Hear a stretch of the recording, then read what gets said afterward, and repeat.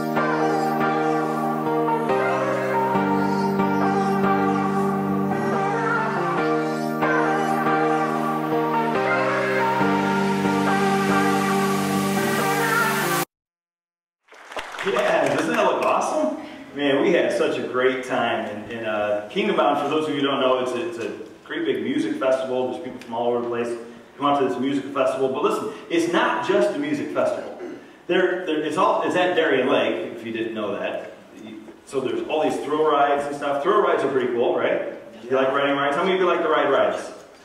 Uh, about half of us. All right. But the thrill rides are pretty cool. There's there are roller coasters that are fast and thrilling, right? There there's water rides that are wet and thrilling. There's there's rides that spin around that are also thrilling.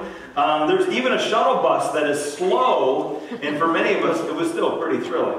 It was pretty awesome. Pretty awesome. But can I tell you the most thrilling thing that took place? Bigger than the 56 people that went with us, three kids that went with us gave their lives to Christ.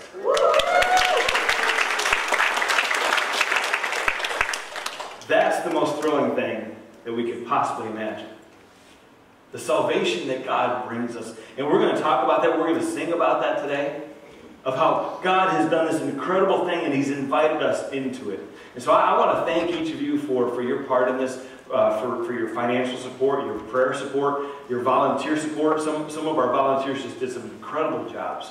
In fact, all of them did an incredible job. But uh, we're so thankful that we were able to go and, and, just have this, this incredible time. Thank you each for this. Um, so here, here's one of the things uh, about a music festival. I don't know this will be a surprise. And some of you are like, wow, really? At a music festival, they have music. I know, I know, it's shocking. You're like, wow, I'm so glad I came to church today. I learned something already. Yeah, there, there's music at a music festival. Let, let, me ask real quick, crowd participation. How many of you are, are music lovers? You, you like music? Yeah, that's, that's almost every hand. That is awesome. Bunch of music lovers. So I, I, want you to think about maybe your favorite group, your favorite band, your, your favorite artist, and um, just think about them right now. And you might have to narrow them down. Maybe you're thinking OCC Worship. That's one of my favorites. It really is, right?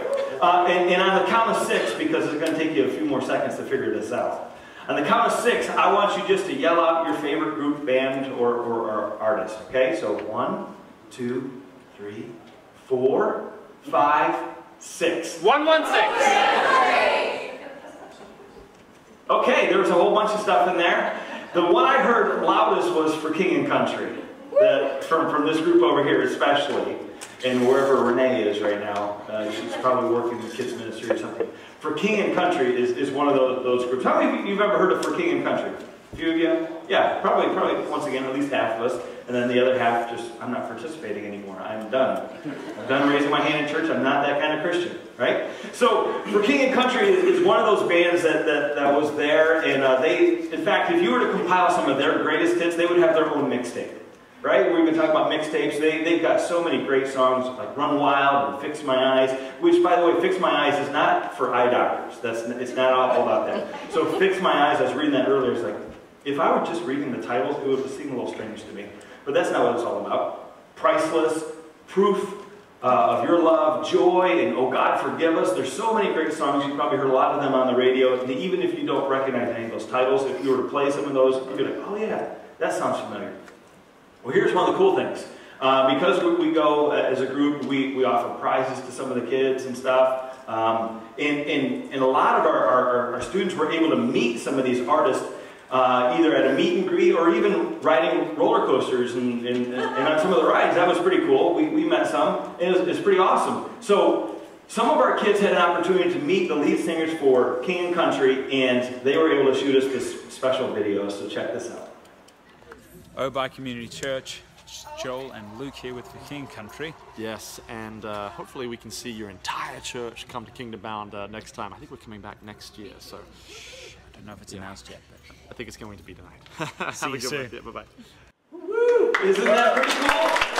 You got a special invite for, for King and Country, and, and it's going to be pretty awesome next year. We're already planning on it. It's going to be a great lineup. Uh, I'm, I'm really excited about next year already. So here's the thing. Many of us, we're, we're music lovers. We, we love music. So, so I wanted to pick some, uh, some psalms, or at least one particular psalm this week that talked about music. Now, music is one of those things that, that we're drawn to. For some reason, we're drawn to. We love to sing. We love to dance. We, we love to get a little bit crazy even at times. There's something about music that we're drawn to. In fact, uh, you've probably heard this quote before by Henry Wadsworth Longfellow. Ever heard of him? Here, here's, a, here's a quote that, that, that he had. It says, music is the universal language of mankind. How many of you have heard that before? It's the universal language of mankind. I know you're raising your hand a whole lot. I'm just warming you up for something that's going to happen a little bit later, okay? So, music is the universal language of mankind. That's Henry Wadsworth Longfellow. And there's been several that have come along after him that have kind of had some spin-off quotes from that particular one. One is uh, Bert, Berthold, Berthold Auerbach. I'm not sure if I pronounced his name right. He's long gone, so it doesn't really matter. Uh, but anyway, this is, I'm sorry, that was disrespectful, I know. We'll get over it. All right, so here's what he said. He said, music is the only universal language which needs no translation. It needs no translation. You can just hear it and you can, you can, you can feel and experience the beauty of music. David O. McKay said this, that music is truly the universal language, and when it's excellently expressed, how deeply it moves our souls. Right? This, this is one of the things that draws us every week on a Sunday morning is because music is done and it's done with excellence and it, and it moves our souls. There, there, there's another guy that, that, talked about this. He's a lot less, less known. Uh, his name is uh, David Cook. Um, uh, this, this is what this guy says. He, he says that music is the universal language of mankind. Why? Because the creator of the universe and the creator of mankind is the creator of music. See, God, our creator, who created all of us, created everything that we see and everything that we don't see, he came up with music. It's all his idea. And it's a pretty powerful thing when you think about it. See, I believe that God is a music lover. He loves it. Over and over again throughout the Old Testament and in the New Testament, it talks about singing songs to our God and worshiping and praising our God with our voices. See, God is a music lover. And today we're going to look at some scripture that points to the reality that God is a music lover. So go ahead and turn to Psalm 98. Psalm 98. If you're using one of our Bibles, it's page 483. 483. If you don't have a Bible, feel free to take that one home with you. Psalm 98. See, we're in this series called Summer Mixtape, deep tracks from, from the Psalms, and we're looking at some of the lesser known Psalms, mostly, right, Andy? Mostly some of the lesser known Psalms. And these Psalms are essentially this, this ancient playlist of music and uh, songs and poems, and, and, and many, if not most scholars, uh, believe that these songs were actually put to music, and, and, and many of them would have been sung by the nation of Israel for, for generations. And so we're looking at some of these Psalms, and, and here's one I want us to focus on today. It's just such a beautiful Psalm. Psalm 98. We're going to look at it, and then we're going to talk about it. Psalm 98, listen. It says, Sing to the Lord a new song, for he has done marvelous things. His right hand and his holy arm have worked salvation for him. The Lord has made his salvation known and revealed his righteousness to the nations. He has remembered his love and his faithfulness to Israel. All the ends of the earth have seen the salvation of our God. Shout for joy to the Lord, all the earth. Burst into jubilant song with music. Make music to the Lord with a harp, with a harp and the sound of singing, with trumpets and the blast of the ram's horn. Shout for joy before the Lord the King. Let the sea resound and everything in it, the world and all who live in it. Let the rivers clap their hands. Let the, mute, or uh, let the mountains sing for joy. Let them sing before the Lord. For he comes to judge the earth. He will judge the world in righteousness and all the peoples with equity. It's such a beautiful song isn't it?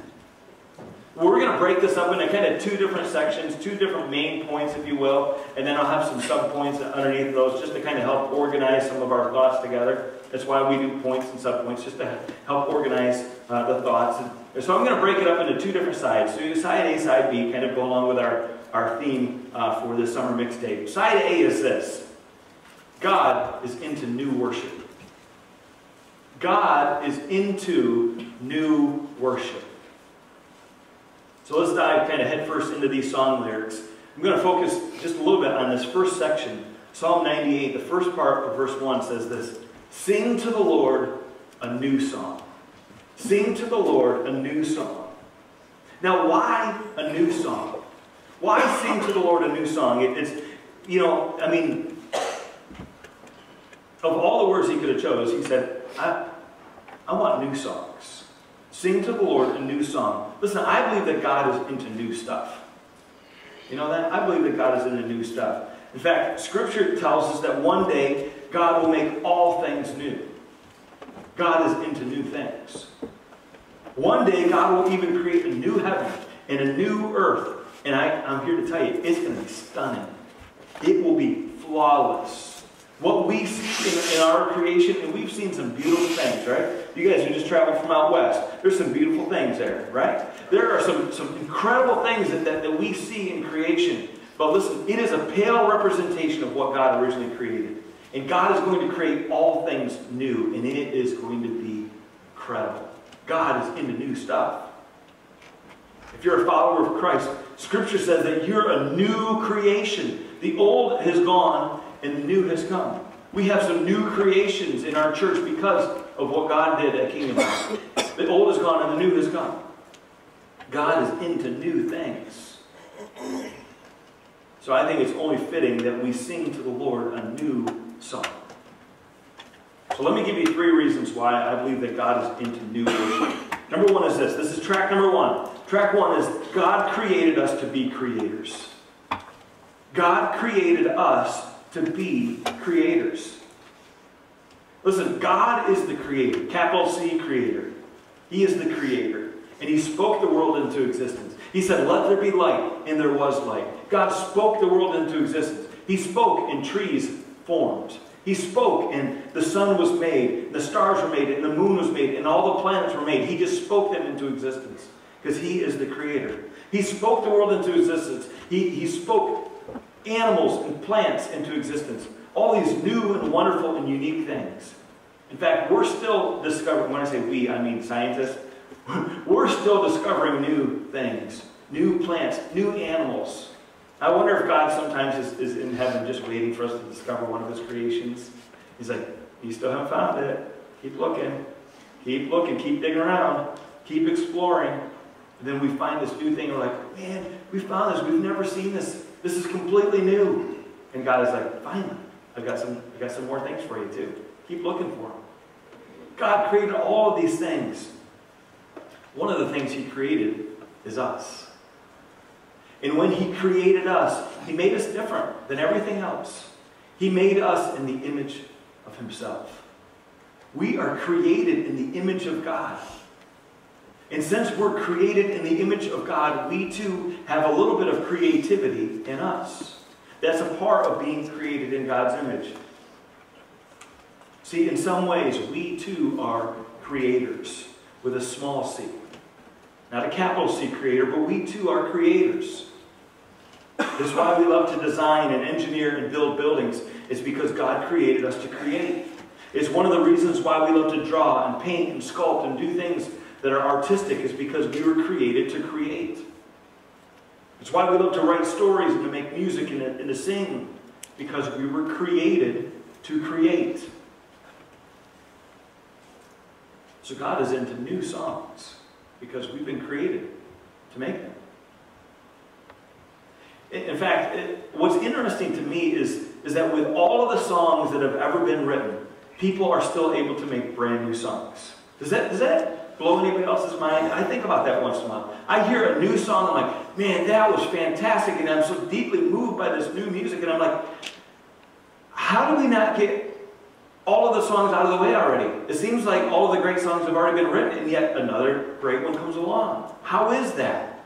Occasionally I think to myself, how is it possible to come up with something that is completely new, something that has never been sung before, that has never been written, never been played before, and yet day after day, year after year, people are always coming up with new songs and new music.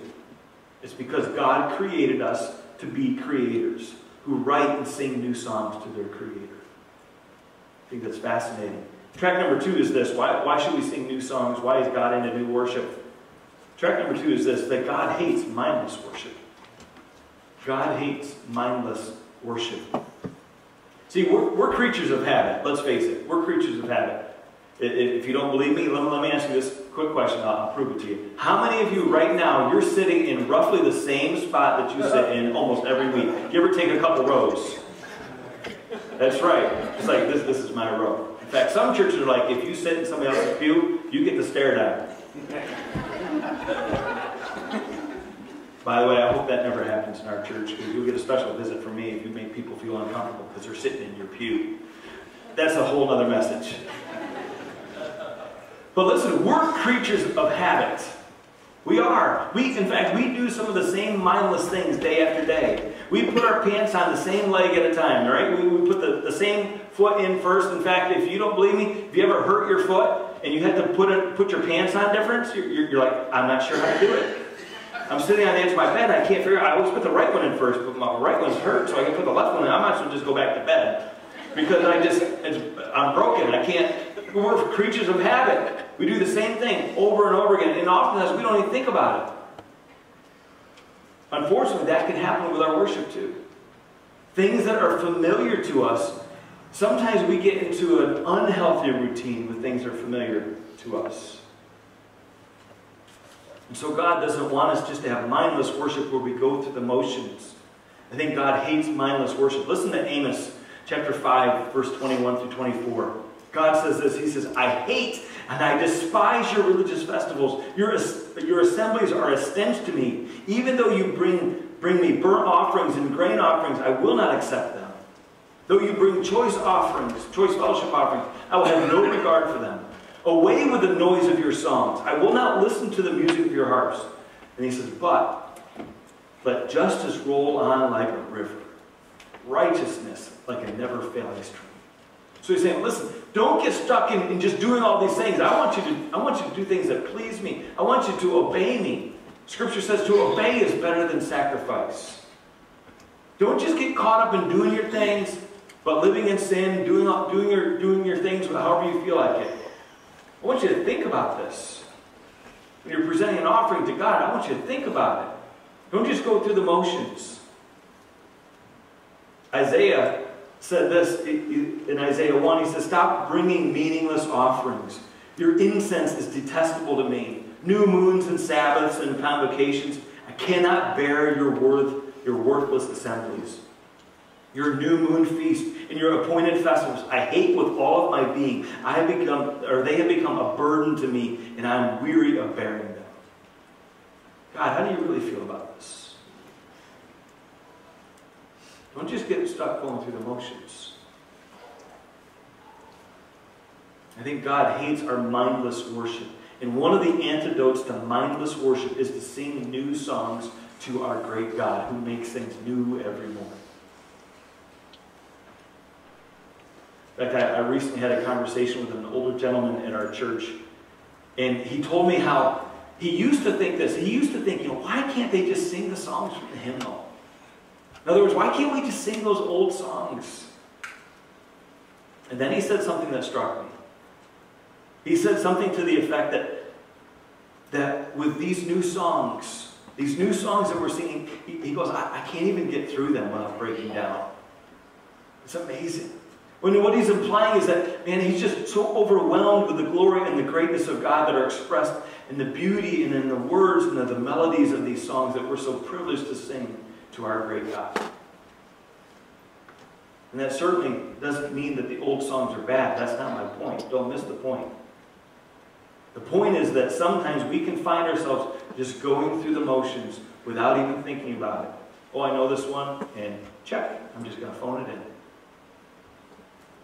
And when we sing a new song, it breaks the mold of the familiar and it enables us to think and sing new and fresh words about a timeless God who never changes.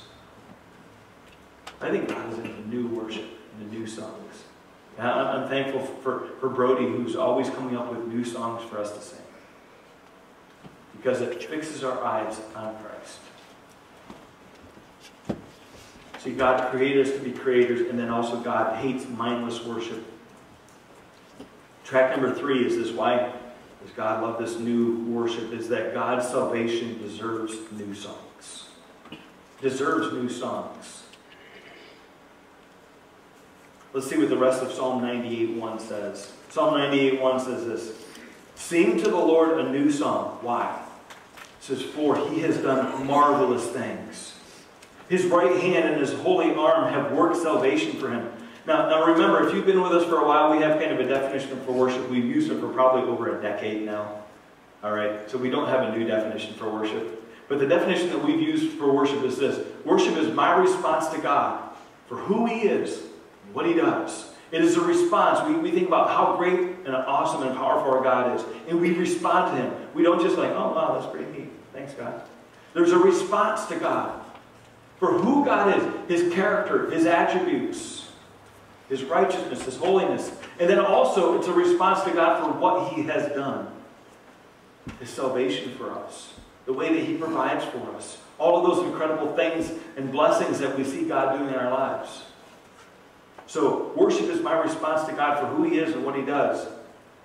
And I'm here to tell you the biggest reason why we should sing to the Lord a new song is the salvation that he offers us. We take it for granted. And so we need to be frequently reminded of the salvation that he offers us. In fact, so many of the songs that we sing talk about salvation. It talks about the new life. It talks about Christ's sacrifice and what he did for us. And it draws us back to the cross and what Christ has done for us. We think about Christ's salvation that he offers us. In fact, the writer of this particular psalm, we're not sure who it is. Is it David or Asaph or some other writer? We're not sure. But the writer of this psalm talks about God's salvation three times in three straight verses. I think he's trying to highlight a point for us. That salvation is so focal to our worship. Psalm 98, verses 1 through 3 says this Sing to the Lord a new song. Why? For he has done marvelous things. His right hand and his holy arm have worked salvation for him. The Lord has made his salvation known and revealed his righteousness to the nations. He has remembered his love and his faithfulness to Israel. And all the ends of the earth have seen what? The salvation of our God. You think he's trying to illustrate something? Salvation is key and focal to our worship and the reason why we should sing new songs to our great God. Now, here, here's the deal. This is so huge. It's so huge, and yet we take it for granted. But listen, you need to know this. We've been included into the salvation that God offers. We've been included in that. And sometimes we're like, oh, okay, well, yeah, of course. Of course we have to. Listen, the salvation that God offers us is not just for Israel, his chosen people, but it is also for us as well. Verse 2, I love it, says, The Lord has made his salvation known and revealed his righteousness to the nations. That's us. See, sometimes I fear that sometimes we, we think that well, of course salvation is for us. We're Americans.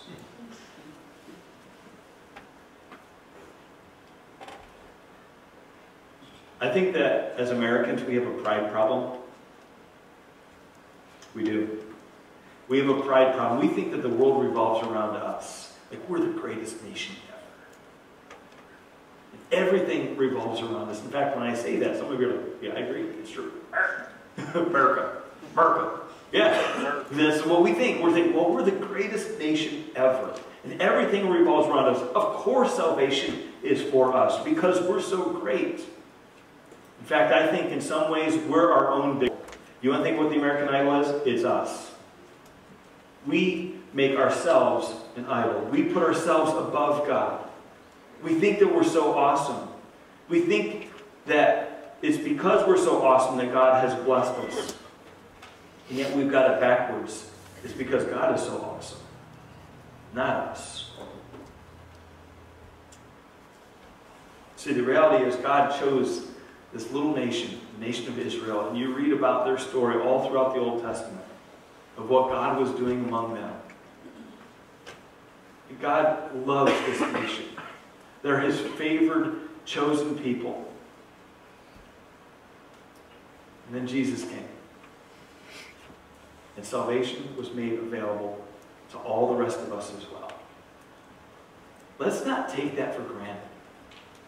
Let's be eternally grateful that God has included us, that He has, he has crafted us in, so to speak, like, like a tree, like a, a tree that doesn't belong on this, on this particular stem or on this particular root, but you know what? We want to graft it onto this particular stem. And God does something amazing with it. That we've, we've been called his sons and daughters and we've been accepted into his family. This is such a huge thing for us. That salvation is also for us. It's not limited to us, but it is for us.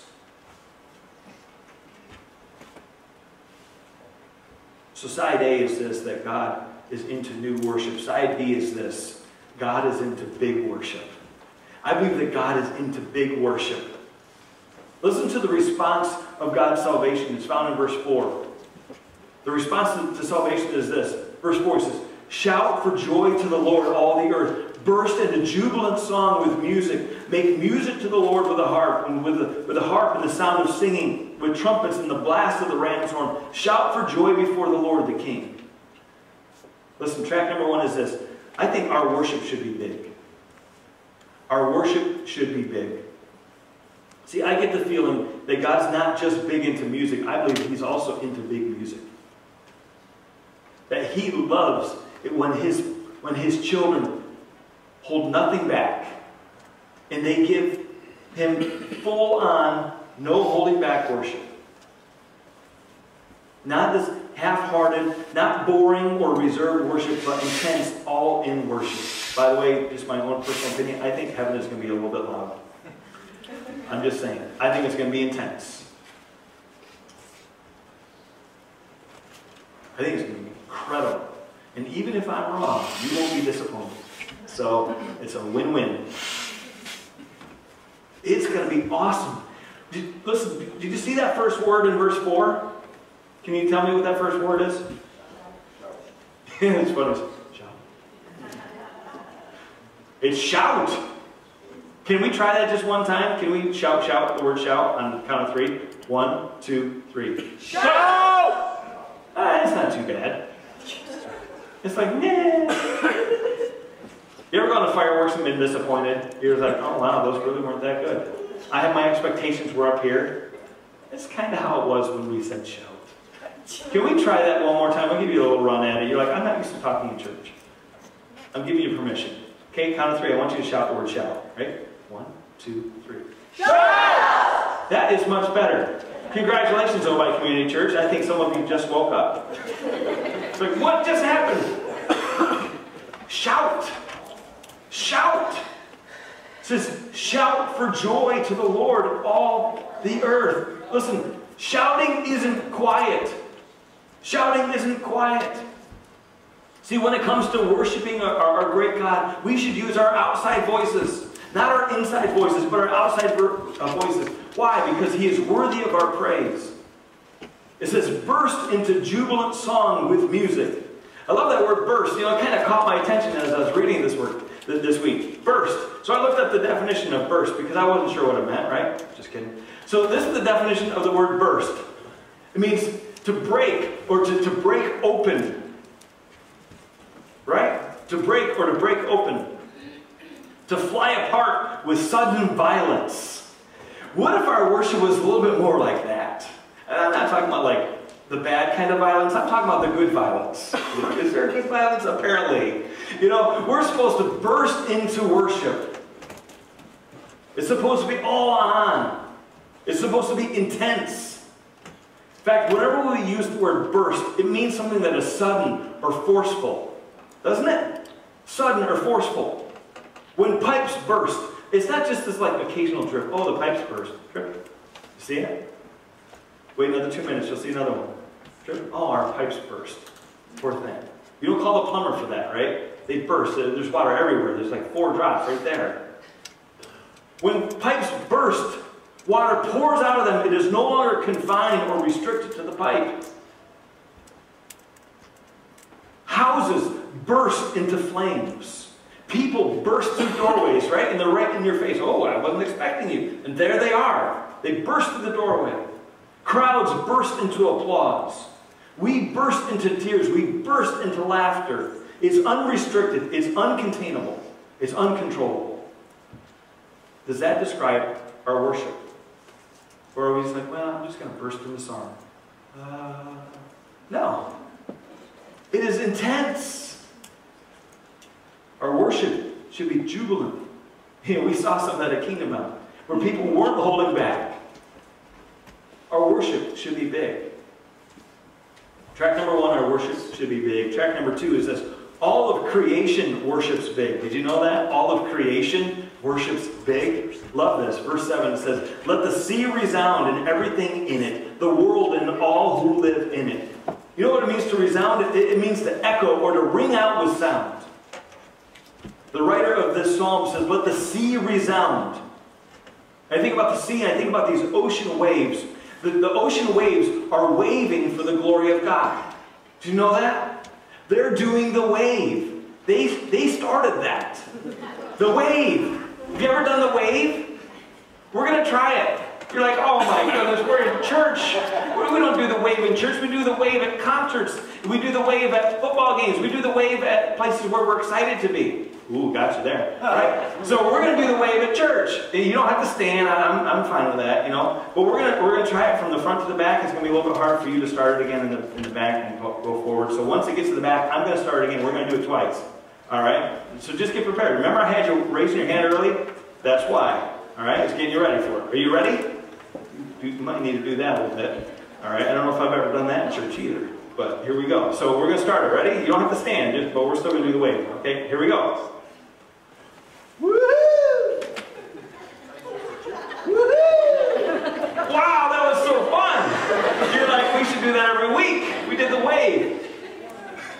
We did the wave. So we got, we got a request over here to do it again. We're, we're, okay, we'll do it. We'll do it one more time. So like, ah, I'm sweating. All right, here we go. Here we go.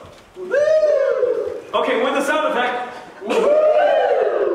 All right. Some of you are thinking, I've never done this in church before. Listen, perhaps God is honored by that.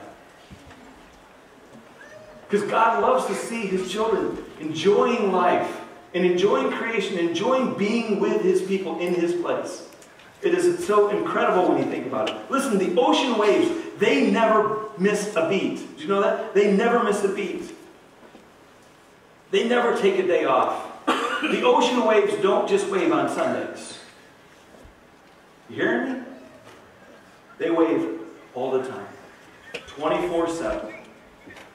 They do exactly what their Creator, the Lord Almighty, created them to do. That should be us as well. I love this. It says, the, Let the sea resound and everything in it. The, the world and all who live in it. You know who that includes? That includes you. You live in this world that God has created. And so we should worship God.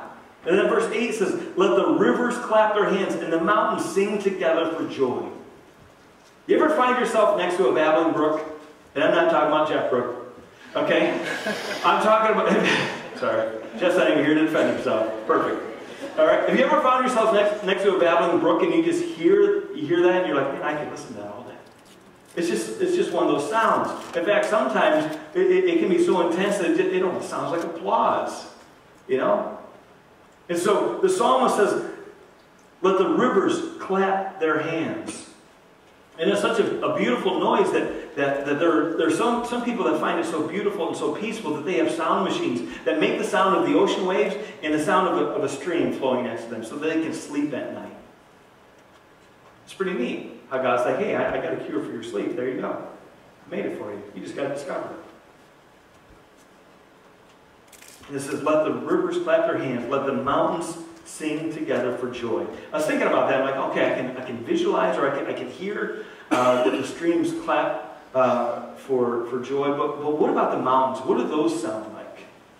And what, how do the mountains uh, work together? How they sing together for joy? And as I was thinking about that verse this week, I was sitting in my hot tub where I like to prepare my sermons. I know it's weird. So it was about 11.30 at night. I'm sitting out in the hot tub. I've got my phone, which is waterproof. That's key. And, uh, you know, and I'm editing my sermon. I'm thinking about this, and, and it's 11.30 at night. It's completely dark. I'm out there by myself. And, and so I thought, you know, maybe I just need to turn the jets off for a little bit so, so I can actually hear. And, and it was just so quiet. And I listened, and I heard the mountains sing for joy. I got to that verse, and, and, and I, hear, I hear crickets and tree frogs and beepers, and, and, and I, I hear a bullfrog in, in the pond next door, and they're singing together for joy. So there I am. I'm in the hot tub at night, and I got on my phone, and I recorded, and this is what I heard. Listen to this.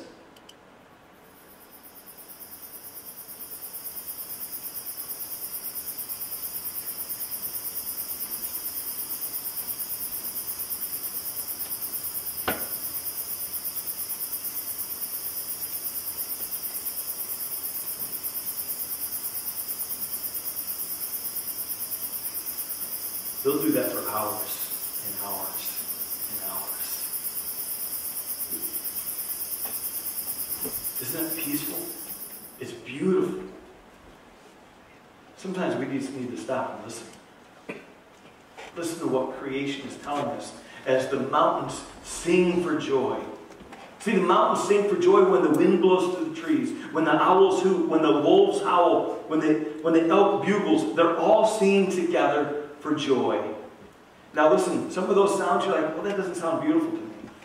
I don't love that sound. It may not sound beautiful to you, but I guarantee you it sounds beautiful to your Creator because they're doing exactly what they were created to do. And we can learn a lesson from them. God has created us to worship and to worship big. Our worship should be big. All of creation worships big. And track number three is this Our God is big. Our God is big. Verse 9 it says this Let them sing before the Lord, for he comes to judge the earth, and he will judge the world in righteousness, and the people with equity. Listen, our worship is directed towards our big God. Our big, great, awesome, powerful, almighty God. Verse 9, don't let this slip by. He says, Let them sing before the Lord. God is our audience. Our big God is the audience and the recipient of our worship. Earlier in verse 6, it talked about God being king. That he is our king. He is our majesty. He is the one who is most high. And because he is Lord and king, he is ruler over everything, and he deserves our best and our biggest praise. The rest of verse 9 says this Let them sing before the Lord, for he comes to judge the earth, and he will judge the world in righteousness and the peoples with equity. See, we come to this phrase in here where it says that he will judge the world. And I've got, I've got to be honest with you. At first glance, it just doesn't seem to fit with me. For, for, you know, I, I, read the rest of it, it's like, oh yeah, God's doing this amazing thing in creation. We're to shout and sing for joy in a new song, and, and God's going to judge the world. I'm like, whoa, wait, what was that last line? it, it, just doesn't seem to fit. So I, I, had to think a little bit more about it. I had to like kind of dive into a little bit more, and and here, here's the here's the deal. I want to point out two kind of hidden tracks, and these hidden tracks are like tracks that like if you're not paying attention you know, if you're not really looking for it, you're going to miss it. You know, sometimes there's hidden tracks in a song. You're like, oh, it's at the end after like four minutes of silence, and then there's a, a like a bonus track. So I, I want to show you uh, these two hidden tracks that if you're not paying attention, you're going to miss it, and, and, and perhaps you're not expecting it. So I want to highlight these things so we don't miss the message. Track A is this. Here's the hidden track. Track A is that God's judgment is righteous. God's judgment is righteous. See, for us, the word judge has all of these negative connotations, right? It has all these negative connotations. And, and for us, we're, we're like, you know, I'm not sure about this, this judgment thing. And so we need to understand that God's judgment is not the same kind of judgment, the same kind of judging that us critical, judgmental, arrogant people do. It's not that kind of judgment. It is a righteous judgment. That God's judgment is righteous and it's perfect. And we see God's righteousness talked about in other Psalms as well. We see it in verse 2 of this Psalm. We see it in verse 9 that God's judgment is righteous. Because God is righteous. So it's nothing like our judgment. See, one day, He will bring justice to this unjust world. Every wrong will be made right. Every injustice will be corrected. Sin will be eradicated. See, one day Jesus will return and he will judge the world and he will rule and reign. And at that time, all things will be made new. The curse will be reversed. And then all of creation will rejoice, having been set free from the curse of sin. That's a good kind of justice. That's a good kind of judgment. So God's judgment is righteous. Track number two, here's the hidden track number two. Track B is this, that God's salvation is available. Don't miss this.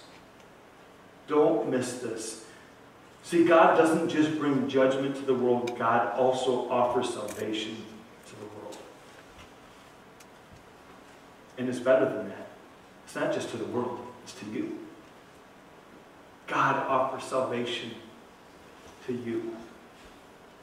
Salvation and redemption and deliverance is for you. All you need to do is ask for it. You need to ask Jesus to be the forgiver of your sin and the leader of your life. If you need help with that, I would love to help, you, help in any way I can. Talk after the service, write something in your connection card, get a hold of me. We'll talk about how God gives us this salvation. See, it's a beautiful psalm, isn't it? Psalm 98. Hopefully, it's one of your favorites now. It's a beautiful psalm, and I want to just give us a couple application points. Three, actually. Number one is this hold nothing back.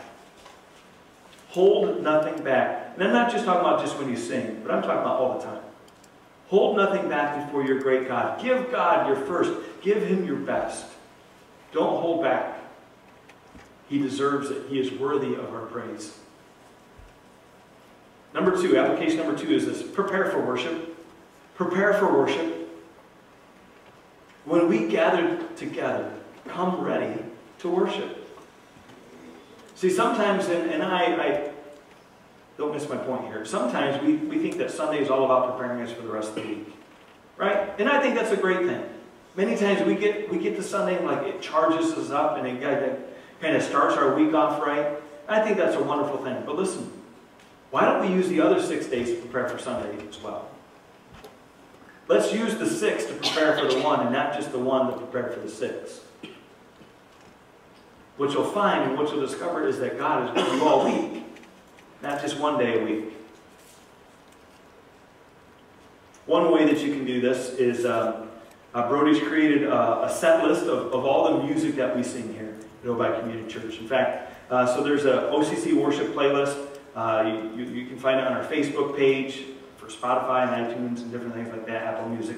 So if, if you're, especially if you're new to our church, like, man, I don't, I don't know these songs, or, or you know, because we frequently do these new songs, you know, it's a great way to kind of familiarize yourself with some of these songs. So if, if you're new, or, or even if you just love to, to sing and, and, and love to hear God's worship uh, throughout all the rest of the week, it's a great way to be reminded throughout uh, the week of all of this incredible things, or all these incredible things that God has done for us. So that, that's one way that you can kind of prepare for worship. Third application is this. Make worshiping together a priority. Make worshiping together a priority. See, I, I believe that you can worship God anytime and anywhere. That is so true. You can worship God anywhere. But I also believe that something special happens when God's people gather together and they worship together. So make worshiping together a priority. Listen, I believe if you do that, if you make that a priority, number one, that you're not going to regret it. In, in fact, what you're going to discover is that God is honored by that. You're saying, God, I'm taking time out of my week just to let you know that you are still number one to me. To make worshiping together a priority. Listen, I hope that, that you're encouraged by this psalm, that you're encouraged by this message, but I want to just talk about it. I want us to do it. So we're going to stand, we're going to sing to our great God. Let's pray. God, we thank you so much